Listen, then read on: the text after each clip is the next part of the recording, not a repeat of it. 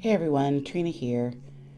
Today I'm going to be making a watercolor sketchbook using a kettle stitch that I learned from a young woman online called Letters of Mia, and I'll leave a link to that below. So first you're going to get your watercolor paper. I'm using 9 by 12 Canson, and I want these pages to be 4 by 4. So cut your paper, and I'm cutting these down to eight inches wide and then uh, two more cuts on the long side to make um, four by eight sheets. So we can get two pages from this. So we're going to trim the paper.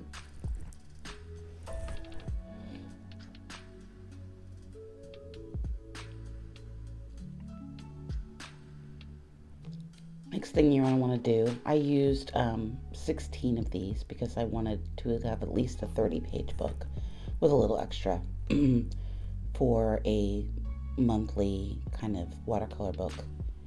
Then you're going to want to fold the pages into half and I suggest that you get a bone folder or use a wooden spoon to get these pages pretty, depending on how stiff your watercolor paper is, you're going to want to make sure that they're folded evenly and uh, have a really good fold to them.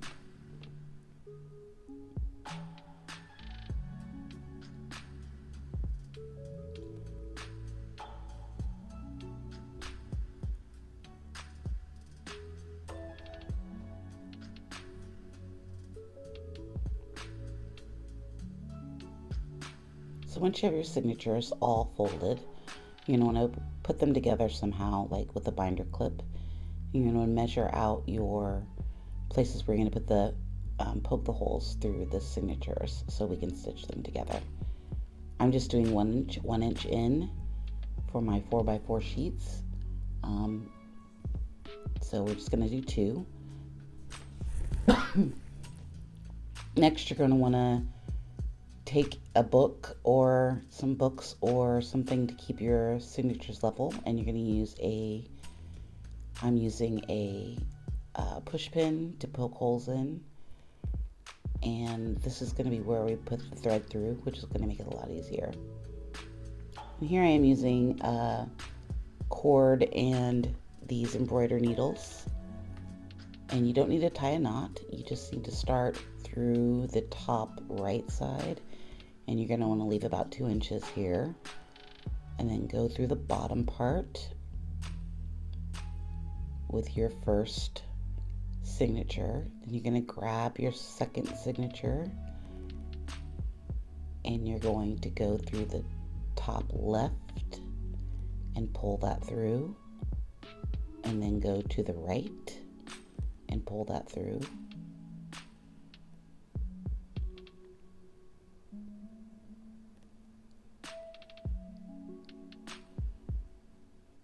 You're going to tie this into a knot. I used a double knot here, or maybe a triple knot, but I think I used a double knot. Um, so this will be tied off, and then you'll trim off the little extra piece of cord. And that's how we start our book. So now we've got two. Take your third platinum or signature from the top right and put it through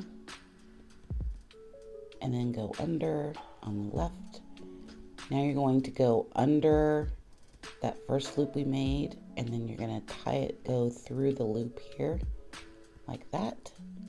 And you've got another knot.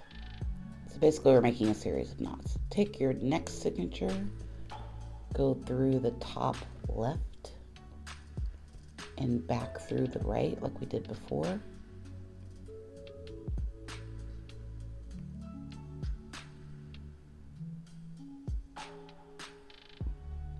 And then again, you're going to want to go under the last signature that you made and loop it around and then go through the loop. Really easy, really easy step. So you're going to want to do this with all of your signatures until you have the final piece done. And when you get to the end, you're just going to um, make a knot and you'll be done.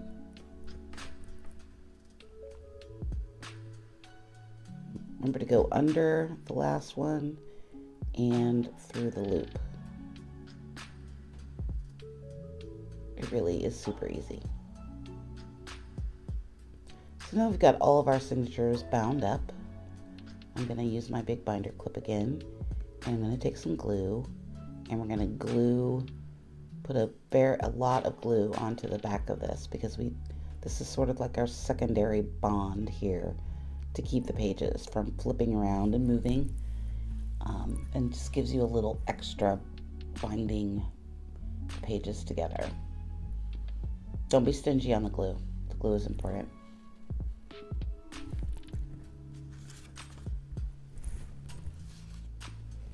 So now I've cut this little piece of paper that is one inch on each side and the size of the of the signatures put together and I'm going to glue that to just on the one side on the binding side to this piece of paper and this is going to make it even more sturdy.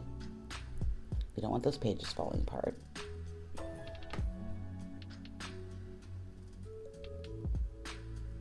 Now we're going to make the cover and I've cut two four by four pieces and then one little skinny piece which is an inch long but it should be the size of your binder.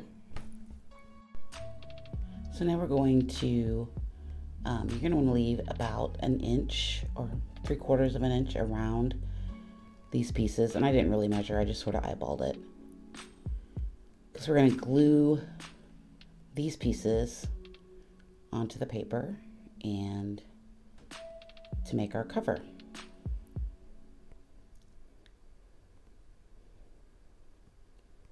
I like to do this in one big sheet because it looks nicer at the end.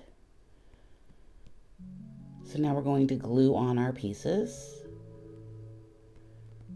I'm to make sure that you have enough room and I was making sure that I got you want to keep that middle piece close. I didn't quite get mine close enough, so I would maybe leave it about a quarter of an inch. Once you have everything drawn out, glue your pieces on to the backs of the paper, and I'm using just a mat board here. You could use cardboard, you could use chipboard, anything that's stiff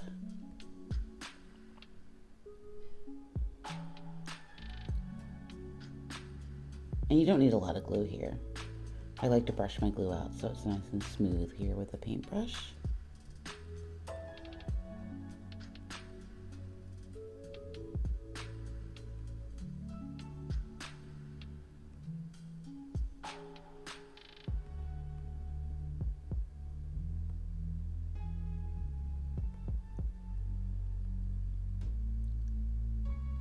And now we're going to make the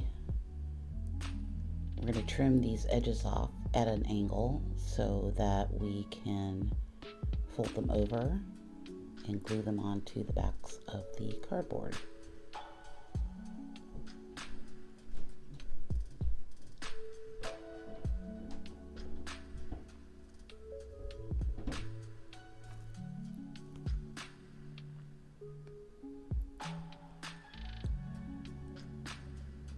So add your glue in. Probably want to put glue on the paper and on the mat board.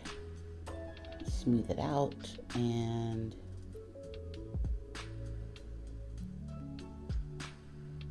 then just fold it over and use your bone folder to press the pieces into place.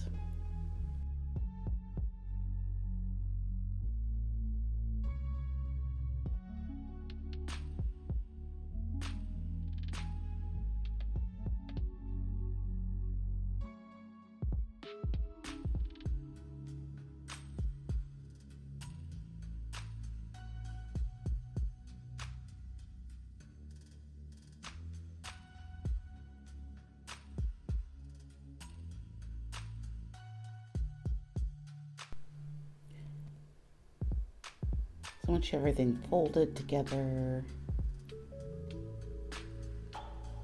straighten that out a little bit. use your bone folder and squish everything down, make sure everything's adhered. And fold over a little bit, and there is your cover. So now we're going to take this, the signatures that we made with the paper, and we're going to glue it onto the cover. Do not put glue on the spine. You want to make sure that that stays flexible. We're just going to glue this to the back of the cover books. And I didn't show it in this tutorial, but I also added a small piece of paper there to the end to cover up those white spots that I had left over and then you're going to glue the watercolor paper down to the spine or to the flat parts.